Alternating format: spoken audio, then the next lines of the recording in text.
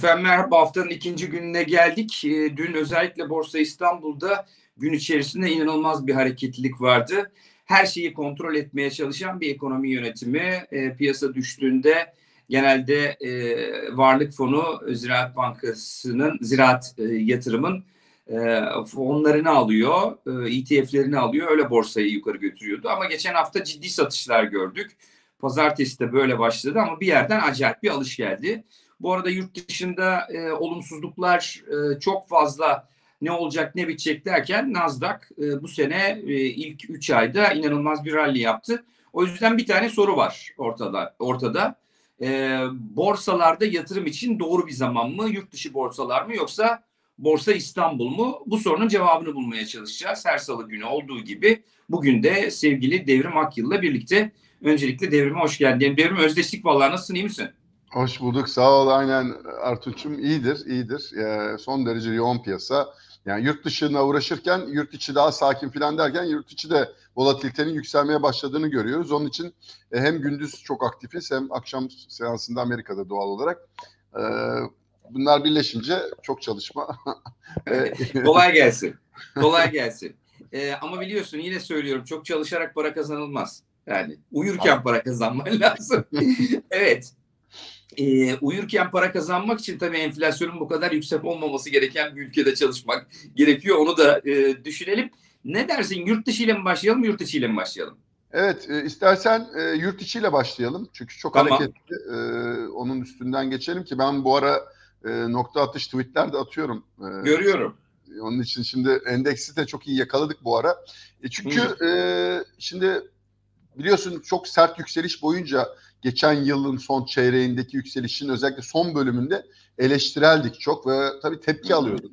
Şimdi e, bir mekanik bozuk olduğu zaman ve aşırı alımlara gittiği zaman biz tabii ki geminin kalabalık tarafında olmayıp tenha tarafında olup o ara birazcık o e, şeyi e, baskıyı mecburen alıyoruz. Ama e, nedir derdimiz? İnsanlara doğru yolu, küçük yatırımcıya doğru noktayı göstermek. Çünkü uzun vadede borsa gayet e, doğru bir yatırım aracı ama o ani şişmelerde özellikle az hisseyle e, endeks mühendisiyle manevralarda beğenmiyorduk. Dolayısıyla oyundan e, o zamanlarda çıkmayı, pozisyon azaltmayı falan anlatıyorduk.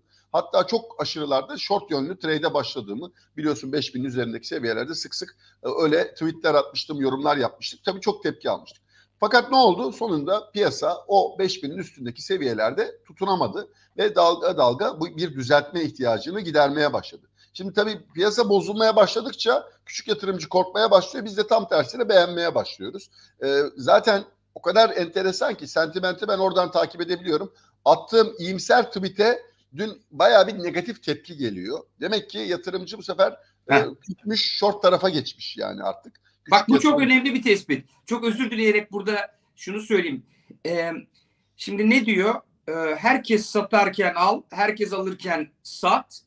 Ama burada trendi de kaçırma. Şimdi trendi evet. okumak açısından e, yapılan anketlerden ziyade sorulan birkaç tane soru arka arkaya çok daha belirleyici oluyor. Aynısını dolar TL'de yaşıyorum. Diyorum ki buraya seçim öncesinde dolar ne olur falan filan patlamadan götürürlerse seçim sonrasında çok belirsizlik olmadan diyelim ki birinci turda çözüldü iş. Ee, yani şey yapacak iyi bir ekonomi yönetimi geldi. Türk lirası kısa vadeli bir değerlenme baskısı altında olabilir diyorsun. Çok normal bir şey. Yani olur olmaz öyle olmalı bir kenara koyuyorum. Olabilir diyorsun. Olur mu hocam dolar patlayacak. Belli ki herkes dolar patlasın diye bekliyor. Nokta buyur lütfen. Evet.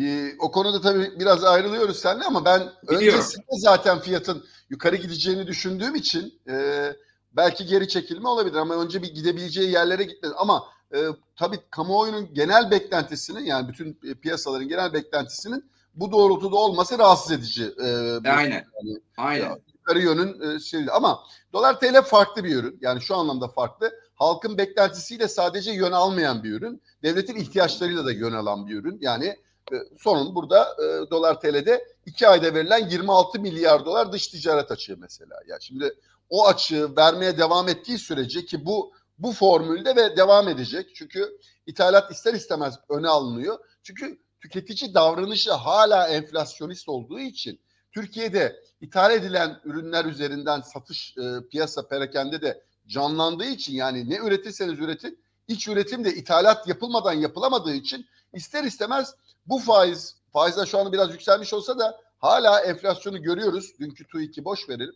Ama gerçekte nette görüyoruz İTO'nun enflasyonundan tutun. Her şekilde enflasyonla ilgili beklentiler yılın ikinci yarısı çok e, sert yukarı olduğu için doğal olarak bu kadar yüksek enflasyonun beklentilerin beklentiler piyasayı e, yön verdiği için doğal olarak dövizin de aşağı gelme riskleri yani özellikle 19'lardayken aşağı gelme ihtimalleri bence çok zayıf. Ama biraz daha hareket olur yukarı gider 25'e 26'ya gittik o zaman tabii konuşuruz bunları. Çünkü ya bence şu anda yani dövizin hiçbir zaman bir tane olması gereken değer diye bir kavram olmaz ama e, yani şu anda yaklaşık olarak piyasanın 24-25'lerden önce e, dış ticaret dengesinin oturmayacağını düşünüyorum ben. Oralarda bir sakinleme getirebilir ancak. Neyse şimdi bu oraya bir, bir şeyler olacak bence zaten bu Nisan sonuna kadar. E, borsanın da bence paralelliği var. E, paralelliği söz konusu olabilir. Yani birazcık bu geçen Aralık, e, geçen e, 2021 sonbaharına benzerlik gösterebilir bu ara hareket. Yani döviz yukarı gittikçe yavaş yavaş hmm. yukarı yönlü canlanmaya başlayabilir. Bu doğrultuda ben borsayı e, uzun zaman sonra beğenmeye başladım. Çünkü aşırı karamsarlık var.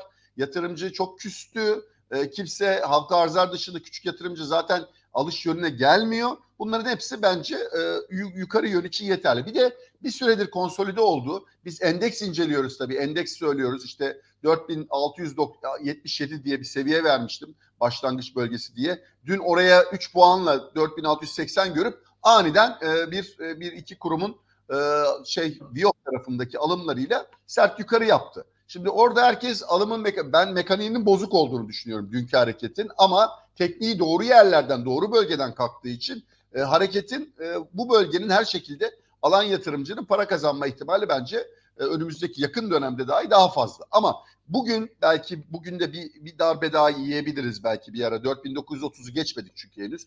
E, bugün yarın hala riskler var ama haftanın e, ikinci yarısından itibaren bence e, bu 4930'daki büyük e, ihtimalle o seviyeye geçeceğiz ve yukarı yönlü ivme alacağız. E, o da e, muhtemelen e, bugünün yarını iyi bir atlattıktan sonra belli olacak. Ama e, mekanik düzelmeye başlayacağını varsayıyorum ki bugün biraz onu görüyorum. Ne demek istiyorum? Endeks mühendisliği ne kadar az yapılırsa, piyasa doğru hisselerle ne kadar yükselirse o kadar sağlıklı. Ki bence bu kadar belirsizliğin olduğu bir ortamda kimse yanlış hisselerde uzun vadeli e, pozisyon almak istemeyeceği için bu noktada artık alanların bir kısmı en kötü ihtimalde ben e, alırım enflasyon rallisi olur işte dolar rallisine katılır şu bu diye orta vadeli ben doğru hisseye yatırım yapayım doğru şirkete ortak olayım yeter ki diyenler geldiği için ben buradaki sentimentin doğruya doğru kayacağını yani bilançosu iyi şirketlerin özellikle net döviz pozisyonu artı olan şirketlere talebin yavaş yavaş artmaya başlayacağını ben anladım. Oralara Devrim. O zaman şimdi şunu bir netleştirelim önce. Ee, dolar TL konusunda biraz ayrışıyoruz dedin. Onu bir e, söyleyeyim. Şimdi benim düşüncem şu. Ee, çok ekstrem bir hareket olursa bilemem. Ben kurun yavaş yavaş yukarıya doğru seçim öncesinde gideceğini düşünüyorum. Senin zannediyorum düşünce seçimi kaybetme olasılığı ortaya çıktığı zaman mevcut hükümetin yapılacaklar dolayısıyla kurda ciddi bir hareketlilik olabileceği şeklinde. E, bu o elbette olasılık dahilinde. Bu bir sistemik risk. Buna bir şey yapamayız. Ben ama normalde o ekstrem durum olmazsa pozitif e, yukarı yönlü kur hareketi bir yere kadar gider. Yani işte 19 ile 20 arasında bir yerde dururuz. 20 diyelim. Sonra kur 20-25 arasında seçim sonrasında bir yerde denge bulabilir. Faizlerde zaten 30'ların üzerine gitti. Faizlerde 50 civarında bir yerde denge bulur diye düşünüyorum. Ama burada seçim öncesinde olacak. Seçimin ikinci tura kalması, mazbataya kadar geçen süre gibi durumları ayrı ayrı değerlendirmek lazım. Bu konuda mutabık mıyız? Önce onu bir söyleyeyim, sorayım. E, evet ya şimdi aynen ya seçim biz kolay kolay siyaset konuşmuyoruz biliyorsun ama şimdi artık bu kadar siyaset değil e, döviz konuşuyoruz. Yok yok özellikle şöyle bir ortamda siyaset konuşmadan e, resmi okuyama okuma şansımız Doğru. Yok. Ben ısrarla iktidar partisinin ve şu andaki mevcut iktidarın e, bu seçimi kaybedeceğini e, düşündüğünü düşünmüyorum. Yani onlar Hala. kazanacaklarını düşünüyorlar. Evet hala Ama- böyle bir şey yok. Evet. Durum yok. Dolayısıyla her şeyi kontrol altında tutmaya çalışmaya devam ediyorlar. Ancak ben diyorum ki başından beri savım şuydu. Seçim yaklaştıkça Hı hı. o, o kadar kötü bir ekonomik konjonktür var ki gelir dağılımı o kadar bozuldu ki vatandaş e, yavaş yavaş rengini belli etmeye başladığı anda bu mevcut e, sistemin böyle devam edemeyeceğini ve bu seçimin kazanılamayacağını ortaya katılan planların şu andaki planların e, insanların o hain diye nitelendirebilecek ara adaylara oy vermeyeceğinin ortaya çıkmasıyla o da planın bir parçası. Oralara gitmeyeceği için ki ben de öyle düşünüyorum. Yani e, Hı hı. seçmen orada bir tane belirgin aday varken orada yok yüzde bir mi alacak yüzde be- yüzde on alacağını tartışması falan hikayesiyle seçimin ikinci tura taşınacağı hikayesi biraz aşırı iyimser bir hikaye. Şimdi sentiment bu kadar terse gittiğini biz görüyoruz. Ben görüyorum en azından kişisel görüşüm bunların hepsi. Ve e, sosyal medya pazarlamasının bazı adayları işe yaramayacağı ortaya çıkacak. O ortaya çıktığı anda hemen yeni bir plan ortaya konmak zorunda kalacak korkarım ki. Dolayısıyla e, o zamana kadar e, bu konuştuklarımız hep siyaseten senaryolar. E, tamamen kişisel olasılıklar e, görüşlerim üzerinde olası. Ama şimdi böyle gelişsin gelişmesin döviz kuru bence o kadar büyük bir e, şimdi bankalarla görüşme gö- gördüğüm e, öğrencilerimin e, akademideki öğrencilerimden gelen e, tepkiler bakıyorum yani şu anlamda söylüyorum bankaya gittim şu kadar döviz talep ettim alamadım şu şimdi gayet enteresan bir fiziki döviz sorununa doğru hızla gidiyoruz. Bu Diyoruz. tip sorunlar da her seferinde devalüasyonla aşılır. Yani ya sermaye piyasası kontrolü aşırı abartırsınız. Şu anda zaten abartmış durumdalar. Bundan daha abartısı Türkiye Cumhuriyeti e, yani 1980'lerden beri 70'ler yani 80 öncesinde vardı evet ama 1900 para kanun piyasası kanunlarını çıkardığımızdan beri hiç görmedik böyle bir uygulama. Bir şekilde dövize aksesi oldu insanların ve şimdi bunu engellemeye bu kadar artık abarttıkları noktada kapalı çarşının Merkez Bankası'ndan daha fazla arz talep görmeye başladığını gördüğümüz anda bu işin e, başka bir yere evrildiğini Peki. görürüz. Kara borsaya düşer diyorsun döviz yani. Türkçesi bu esasında. Yani kapalı çarşı dediğin OTC market yani tezgah üstü piyasaya düşer. Oradaki düzen farklıdır ve bir gölge kur oluşur. Bunun olması ihtimali var. E o zaman soruyorum sana. Şimdi e, senin mantığında şu işliyor. Diyorsun ki sokakta kan oldu mu geleceksin borsaya para yatıracaksın. Şu anda büyük riskler var. KKM'yi de onun için açtılar vanayı. Hadi şirketler, hadi bireyler KKM'ye gidin ki kur riskini ben aldım üzerime kuru patlatmayalım seçim öncesinde. Ama diyorsun ki bu böyle seçim öncesinde daha anket yokken ortada yapılır da bir de anketler gelip farklı bir durum ortaya çıktığını görürsek o zaman daha ekstrem bir hareket görebiliriz. E o zaman onu bekleyip ondan sonra borsada pozisyon alalım. O çok geç olacak. Şöyle tam tersine bence e, borsa buralarda dibini yapıp şimdi hala iyimserlikle birkaç hafta daha bu ralliyi götürecek. Hatta düşünülenin e, tersine çok daha kuvvetli bir ralli olabilir ve e, yeni zirvelere bile gidebiliriz. Ama asıl sorun ondan sonra işte benim korkum e, bu e, şu andaki manevraların işe yaramadığı anlaşıldığı anda hem borsa yani hem dolar zaten yavaş yavaş giderken borsa da yukarı gidecek. Ama orada borsanın e, yani risklerin arttığı seçim sonrası veya seçim öncesi risklerin arttığını fark ettiği anda borsa yatırımcısı karını almak isteyecek. Dolayısıyla burada çok iyi bir manevra dönemi var. Yani şu anda ben bugün yarın bu aralar borsaya diplerden yatırım yapanların önümüzdeki birkaç haftada iyi bir rally yakalayıp ondan sonra da oradan e, hızla çıkması hatta short yönlü trade'e dönmesi doğrultusunda bir e, şeyim olacak. Ya benim tarzım bu olacak en azından. Ben ne yapacağımı anlatıyorum. E, ben buna göre trade ediyorum şu anda. Borsada sürekli long bakıyorum ama hala long bakarken e, yani yukarı yönlü alış yönlü bakarken aşağı yönlü hala baktığım hisse senetleri var. Nedir? Döviz borcu yüksek şirketlerden ben kaçış olacağını düşünüyorum bu fırsatta. Onlar muhtemelen e, bu yükselişi alamayacaklar yani e, verimini alamayacaklar. Oralarda hatta yükseliş boyunca çok sert günler değil ama normal e, şey sakin günlerde short yönlü trade'e bile devam edebilirim pair trade. Anladım. Yani riskimi hedgelemek açısından. Bilmem Peki. mi? Çok iyi, çok çok iyi anlattın. Ya ben şimdi şöyle bir şey. Ben çok heyecanlı ve hızlı bir adamım. Sen de beni biliyorsun. O yüzden belki böyle tenis maçı gibi oluyor. Ben arada e, 22-22 yaşında çok konuşunca zaten hocam sen çok konuşma. Sen 22-22'de konuşursun. Konuğu konuştur diyorlar ama ya ben de tenis maçı seviyorum yani. Tenis gerçi çok uzun zamandır oynamadım. Dizlere e, zarar veriyor diye ama tenis güzel bir şeydir. Zekanın şeyidir esasında göstergesidir. Zeka ve çevikliği beraberine getirir. Ben benim kadar en az hızlı hatta benden daha hızlı düşünen bir tane adamla karşı karşıya kalınca yani dişlerim çıkıp tırnaklarım uzuyor o yüzden durmaya çalışıyorum. Çok iyi anlattın. Şimdi 15 dakikayı geride bıraktım. Şimdi 15. dakikada şu soruyu soruyorum. Borsa İstanbul'a ilişkin bir şeyler söyledin. Zamanlamaya ilişkin de çok şey söyledin. Şimdi diyorum ki yurt dışı piyasalar açısından e, tarım dışı istihdamın da önemli olduğu, yurt dışı çok dayak yedi dediğimiz Nasdaq'ın rally yaptığı bir 3 e, ayı geride bıraktık. Bundan sonra Türk borsası mı, yabancı borsa mı? İkisi birlikte mi? Oranlar ne? Ne yapmalı, ne yapmamalı? Nereden anlatmaya başlayalım?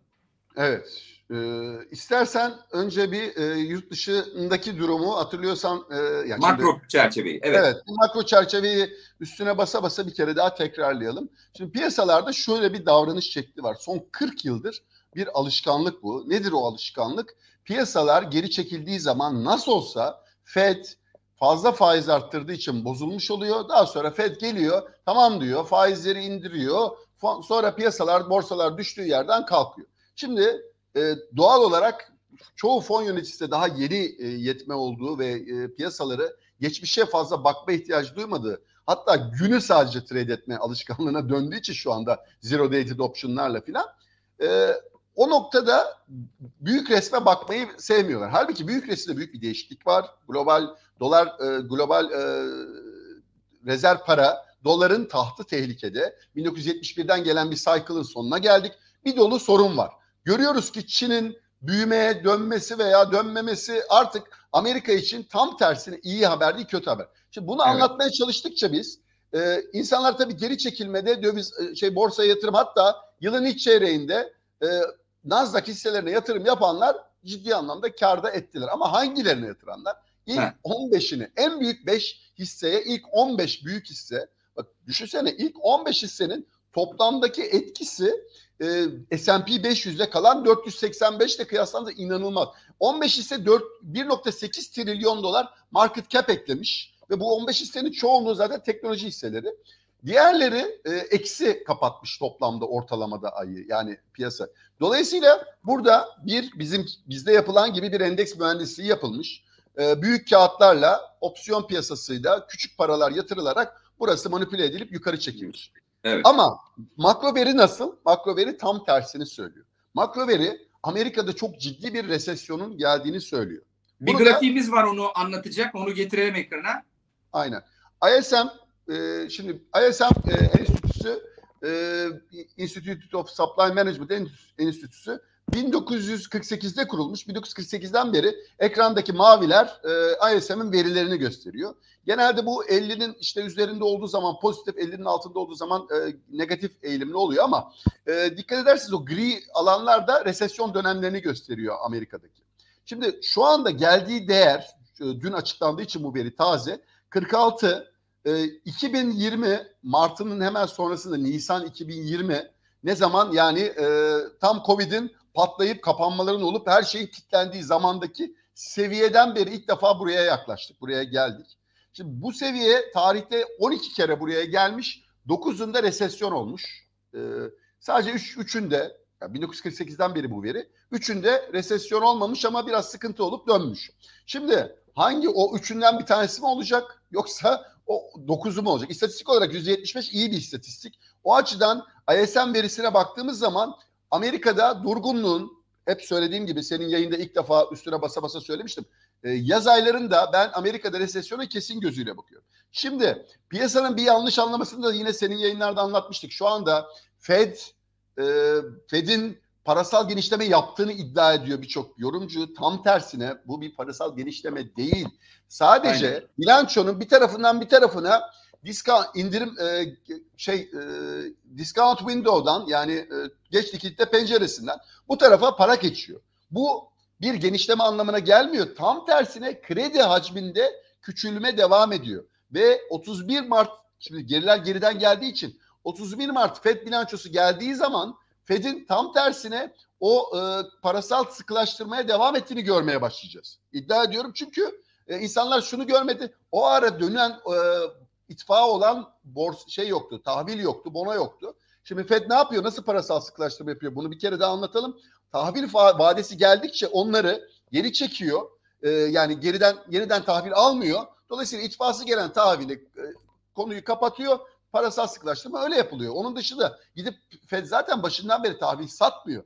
Dolayısıyla 31 Mart haftasında e, ciddi bir dönüş olacak. Ben parasal sıkılaştırma adına birazcık tekrar FED bilançosunun küçülmeye başladığını görmeye başlayacak yatırımcı. O açıdan bunlar bir algı e, son dönemdeki yanlış algıyı sadece bankaları kurtarmak için piyasaya verilen likiditenin genişleme olmadığını, onun tam tersine krediye dönüşmeyen hiçbir e, piyasa e, Fed bilançosu büyümesi krediye dönüşmediği sürece o bir parasal genişleme statüsü kazanmaz. O açıdan e, biraz para teorisiyle ilgili para e, ya dünya para tarihi, ekonomi tarihi falan okuyanlar e, anlayacaktır. Paranın yaratım e, olayı genellikle e, bankalar tarafından kredi verilerek e, aslında olur. Parasal yani, genişleme kredi büyümesiyle birlikte olur. Dolayısıyla aynen. çeşitli bilanço kalemleri arasında rakamların değişiyor olması bilanço büyüklüğünü eğer arttırmıyorsa bir parasal genişleme anlamına gelmez. Nasıl Türkiye'de kredi büyümesi konusunda esasında bir anlamda bir sıkı para politikası var. Ancak para basımı abuk subuk yerlere e, bir şekilde paralar harcanmasıyla birlikte enflasyonu beraberinde getiriyor. Amerika'da şu anda bu yapılmamakta. Onun için bu temel farkı anlamamız lazım. Bu enflasyonist değil. Bu gelen son geçtiğimiz e, dönemdeki e, veriler Amerika'da enflasyonun bir miktar hız kesebileceğine dair beklentileri de arttırdı. Bu hafta tarım dışı istihdam verisiyle birlikte işte geçen gün McDonald's örneğini verdik. Daha önce Apple örneklerini şunları bunları verdik. Acayip iş piyasasını bozmaya çalışıyor ki ücretler genel seviyesi bir düşsün, enflasyonist bir baskı yaratılmasın. Bu tarım dışı istihdam verisiyle birlikte Amerika'da yavaşlama ve 25 bas puanlık bir faiz arttırımı olacak mı olmayacak mı sonrasında duracak mıyız durmayacak mıyız milyon dolarlık soru oldu bu hafta için. Ne diyoruz şimdi? Evet. Neti işin e, be careful what you wish for diye İngilizce'de bir ha. terim var. Yani ne dilediğine dikkat piyasa, et. aynen. Piyasa son bir yıldır bu FED parasal sıklaştırmaya başladığından beri inşallah FED duracak, faizleri durduracak, ondan sonra artışı durduracak, indirecek, faiz indirmeye başlayacak diye her e, FED toplantısına, her veriye e, duaya çıkıyor ve aa tamam veri iyi geldi, tamam veri kötü geldi, çok iyi borsayı alalım filan. Bunun e, ne zaman e, Fed durup da faiz indirmeye başlasın borsalarda crash olacak yani gerçek söylüyorum. Şimdi bütün olgu e, çünkü artık Fed ha tamam hedefime ulaştım piyasalar nanay diyecek ve gerçekten o zaman işleri bozacak. O açıdan e, şurada son dönemdeki hareket gerçekten e, bir aşırıya gitmiş bir hareket. E, resesyona giden bir ülkede siz e, küçülmeye adanmış şirketlere ortak olmak istemezsiniz. Hafta sonu kendi kanalındaki yayında da teker teker bütün büyük bilançoları e, Apple'ından Nvidia'sına kısaca hızlıca anlattım. Bütün hepsinde karlılık düşüşü, nakit akış dengesizliği, negatife dönüş filan hepsi devam ediyor ama hisselerin fiyatları yukarı gitmiş. Dolayısıyla sürekli olarak işçi çıkarıyor. Her sektörden insanlar işçi çıkarmaya devam ediyor. Yani işsizlik ister istemez en sonunda Fed'in istediği gibi biraz yukarı gidecek. Ama karlılık kısa vadede bunun aa iyi hocam işte işi çıkardıkça karlılık artar. Ciroları dahi enflasyonist dönemde enflasyonla ayak uyduramayacak şekilde düşüyor. Dolayısıyla siz küçülmeye giden şirketlere ortak olmak istemezsiniz. Yani kısaca bütün soruna dönersek e, buradan Nasdaq mı e, alırım, Borsa İstanbul mu? E, ben TL bazında tabii ki şu anda Borsa İstanbul'u kısa vadede her ne kadar olur mu hocam çok saçma diye düşünenler olsa da kısa vadede e, Nasdaq aşağı yönlü Borsa İstanbul'u yukarı yönlü trade'i kısa vadedeki e, şeyde pair trade olarak baktığım bir trade. Çok ilginçtir. Bir süredir Nasdaq'la Borsa İstanbul'un bir ters korelasyonu var. Nedense, ne hikmetse var öyle bir korelasyon. O açıdan buradaki denge sanki biraz daha öyle o yönde gidecek. Senin de bu doğrultuda bir e, tweetin vardı galiba dün. E, aynen. Bu paralellik gösteren. E, yani benzer bakıyoruz şu anda resme. Özellikle Amerika'nın şu son hareketleri Amerikan borsalarının bir kaçış fırsatı olacak. Hatta hafta sonu OPEC'in hamlesi o kadar evet. e, net bir resim çiziyor ki. Yine rezerv yıldır, para konusu. Aynen iki buçuk yıldır anlattığımız artık Amerika tek kutup olmadığı için bugün Fransa'sından Brezilya'sına, Suudi Arabistan'ından Japonya'sına kendi müttefiklerinin gidip yuan bazında veya başka para birimleri bazında ve dolaylı yoldan altın bazında ticaret yaptıklarını görüyoruz. Rusya ile Çin'le bazı deal'lar kat ettiğini düşünüyoruz. Görüyoruz. Alenen şimdi bu oldukça ve tam enflasyonun e, ayağına vurdum bak enflasyonu düşürüyorum faizleri durdururum ekonomimi genişletirim kafası geldiği sırada sen ne enflasyonu düşürüyorsun al sana e, OPEC plus e, üretim kesintisi deyip gece yüzde beş gaple yukarıda açtırıyorlar petrolü Tabii, ki inanılmaz. hiçbir şekilde Büyük bağlı oldu. Stratejik petrol rezervini de çok boşalttığı için Amerika hiçbir şekilde ona e, rezervle bir müdahale şansı kalmadı. Elinin o kadar bağlı olduğunu görüyorlar ve bugün tekrar tekrar söylüyorum herkes bizim anlattıklarımızı sabahtan geceden sabaha hemen olmasını bekliyor ama rezerv para doların statüsü kaybı zaman alan bir süreçtir ve uzun bir süreçtir. Sadece buna bet edeyim ben yarın altından para kazanayım değil. Orta ve uzun vadede baktığınız zaman bu döngüler yavaş yavaş oluşacak. Amerika'da her seferinde buna karşı hamlelerle e, yürümeye çalışıyor ve hala Fed bunca sıkıntıya rağmen faiz arttırmaya devam etmek zorunda kalıyor. Şu andaki bu petrol fiyatları artışı Amerika'daki ister istemez e, pompaya yansıyacak. Yansımaya başladığı anda e, enflasyonu nasıl indirici etki yapacak ki Amerika'da hala gıda enflasyonunda hiçbir gerileme yok.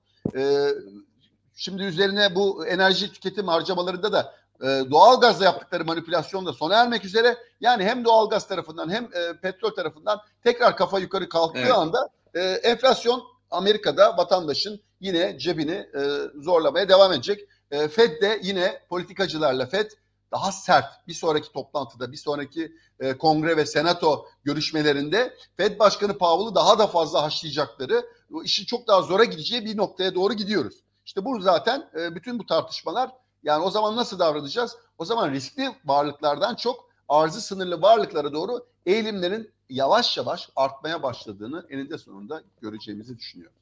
Peki. O zaman İhsan ekrana getirdi. BIST mi Nasdaq mı BIST? Biz yerli ve milli borsadan yanayız.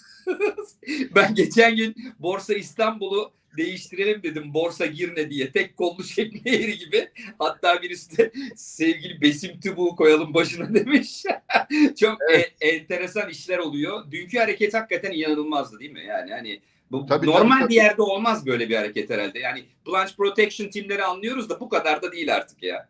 Şimdi tabii sentimenti çok iyi okuyor a, robotlar. Bir de robotların e, hacim o kadar düşük ki. Yani şimdi evet. e, aşağı düşüşlerde de hacim düşük. E, o açıdan orada e, sentimente oynadığı anda bir robot tek başına sonra ikinci bir robot yani ona iki üç tane robot eklendi dün.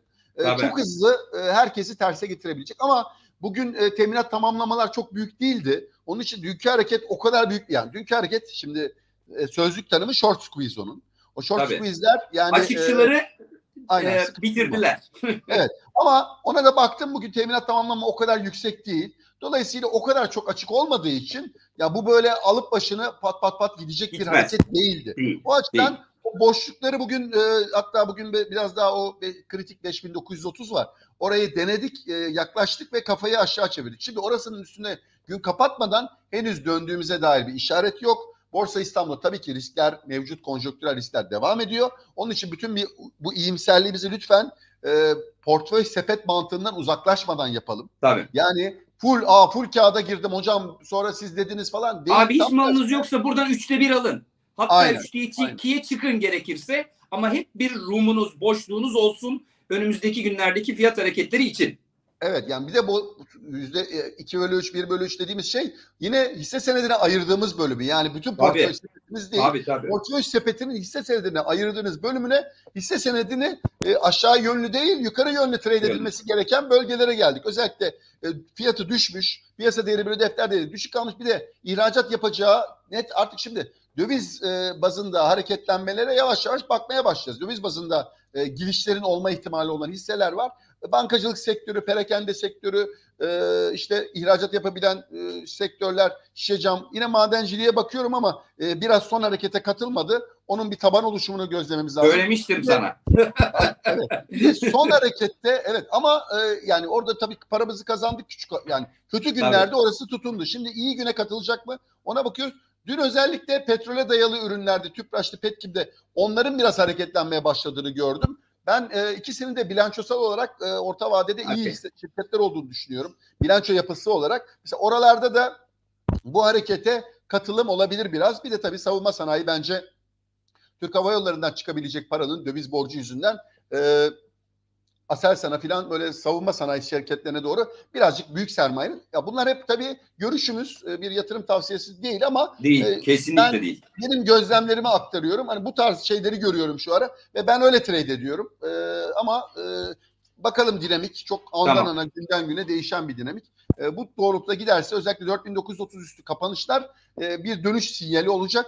Birkaç hafta piyasayı hızlı bir hareketin içerisinde görebiliriz. E, senaryosu çok net olmamakla beraber neye dayalı olacak? Onu sonradan öğrenmiş olabiliriz. Dün olduğu gibi. Dün herkes bir haber mi var hocam bir haber mi? E, Yani bir habere bazen gerek yok işte. Yani yüzde beş hareket yapıyorsunuz. E, hiçbir haber olmadan yani. Peki. Yaptığımız yayını beğendin mi Devrim?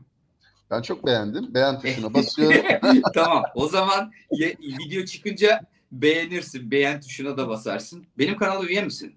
Üyeyim her zaman. Zile de bastım. Ya de bir bastım. şey Video söyleyeyim mi? koyduğun zaman önüme geliyor. Ben, ben, ben bunları söylemeyi ve yapmayı ya ayıp derdim yani ne bileyim böyle çekilirdim böyle şeylere. Gençler diyorlar ki hocam yok söyle hep biz de söylüyoruz bakalım. Umuyorum sürçülisan etmiyoruz.